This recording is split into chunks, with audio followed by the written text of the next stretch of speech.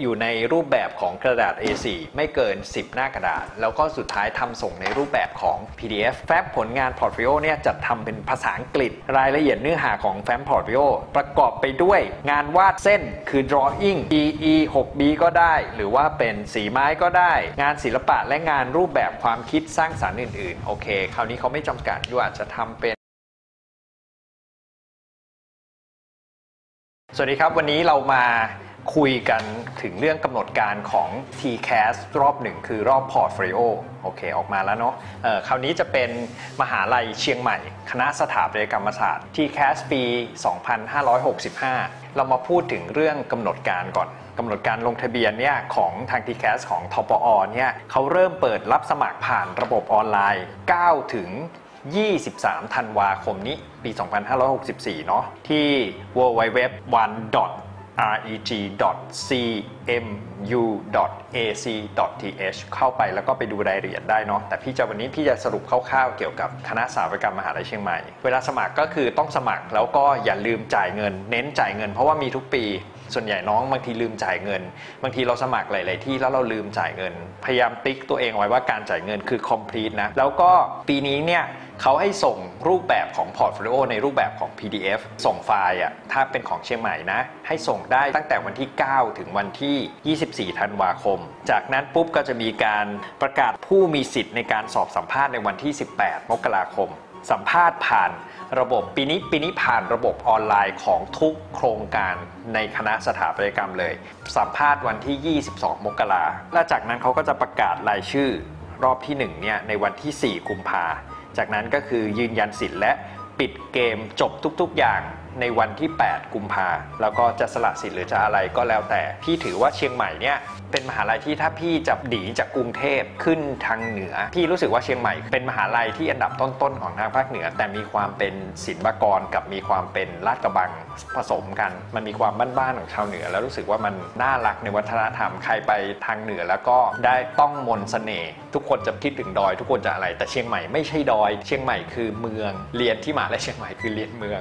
เรียนเขามีเมืองเขามี feel ของเมือง เราอย่าไปคิดว่าเชียงใหม่เราต้องไปดอย เราต้องอยู่กับธรรมชาติไม่ใช่ เชียงใหม่แค่รถไม่ติดเท่ากรุงเทพแต่ว่ามันจะมีความเป็นเมืองอยู่ แต่ว่ามันมีความน่ารัก และมีความเป็นชุมชนไม่เหมือนกรุงเทพกรุงเทพมันจะแออัดแล้วมันจะเป็นเมืองใหญ่เด็กสถาปัตย์หลาย ๆ ที่นิยมที่จะเลือกไปใช้ชีวิต 4-5 ปี เชียงใหม่นี่เขาจะมีหลักสูตรตั้งแต่วทว4 ปีและ 5 ปี แล้วเดี๋ยวจะมาอธิบายกันแต่ละสาขาวิชาว่าเขาจะมีเงื่อนไขในการเข้าอะไรบ้างสำหรับ portfolio ครับคราวนี้มาสู่คณะสถาปัตยกรรมสาขาการออกแบบเชิงบูรณาการ สถาปัตยกรรมแนวใหม่ อันนี้เป็นหลักสูตรนานาชาติ นี้รอบ portfolio ค่าเทอมก็ประมาณสัก 65,000รับ 8 คนคุณสมบัติของการเรียนก็คือ เขาต้องการคนที่ได้เกรดเฉลี่ยถ้าอยู่ม .6 อะ5เทอมไม่น้อยกว่า 3.00 แล้วก็แผนเรียนวิทย์คณิตเท่านั้น แต่ว่าถ้าเราจบนานาชาติมานักศึกษาที่กำลังศึกษาอยู่ที่เกรด 12 เป็นระบบ อเมริกัน US หรือ Year 13 ในระบบ UK หรือสำเร็จการศึกษาแล้วคือจบมาเรียบร้อยแล้วไม่เกิน 3 ปี มีผลการเรียนสะสมไม่น้อยกว่า 3.00 และผู้สมัครต้องเป็นสัญชาติไทยเท่านั้น แต่ก่อนพี่เคยรู้สึกนะ ว่าผู้สมัครต้องเป็นสัญชาติไทยเท่านั้น จนปัจจุบันได้เจอน้องๆ ที่เก่งมากๆหลาย ๆ คน ที่เก่งในระดับหัวกะทิเลย แล้วมีพรสวรรค์เป็นพิเศษเลยนะ เป็นเด็กต่างชาติ อย่างเช่น เป็นพม่าแล้วเขามาทำงานอยู่ที่เมืองไทย แต่ตัวเขาเป็นเด็กที่น่ารักและมีความรับผิดชอบเลย กลายเป็นคุณสมบัติเนี้ยกีดกันเขาในระดับหนึ่งเลยเนาะก็ไม่เป็นไรอันนี้เป็นสิ่งที่มหาลัยต้องการเนาะผู้สมัครต้องมีคะแนนวิชาภาษาอังกฤษ รวมเฉลี่ยใน 4 เทอมสุดท้ายก่อนวันสมัคร เทียบแล้วไม่น้อยกว่า 60 หรือยื่นผลคะแนนภาษาอังกฤษผลภายใน 2 ปีก็คือสอบ IELTS ก็ได้ไม่น้อยกว่า 5 นะ TOEFL ไม่น้อยกว่า 500 โอเค ถ้าเป็น PBT หรือ 173 ถ้าเป็น computer-based test หรือ 61 ถ้าเป็น internet-based test สอบ TOEFL ยาก สอบ IELTS เหอะหรือว่าเราจะสอบ SAT ไม่น้อยกว่า 400 หรือว่า English Placement Test ที่จะทำโดยมหาลัยเชียงใหม่ก็ไม่น้อยกว่า 60%เนาะคราวนี้เรามาโฟกัสกันที่ตัว portfolio ของนานาชาติเนี่ยเขายังไงบ้าง เหมือนกันกับทุกภาควิชาเลยก็คือ อยู่ในรูปแบบของกระดาษ A4 ไม่เกิน 10 หน้ากระดาษ แล้วก็สุดท้ายทำส่งในรูปแบบของ PDF แฟ้มผลงาน portfolio เนี่ยจัดทำเป็นภาษาอังกฤษ รายละเอียดเนื้อหาของแฟ้ม portfolio ประกอบไปด้วยงานวาดเส้นคือ drawing EE 6B ก็ได้ หรือว่าเป็นสีไม้ก็ได้ งานศิลปะและงานรูปแบบความคิดสร้างสรรค์อื่นๆ โอเค คราวนี้เขาไม่จำกัดอยู่อาจจะทำเป็น get design คือเขาเปิดกว้างเขาไม่มีโจทย์ที่ specific เหมือนกับตัว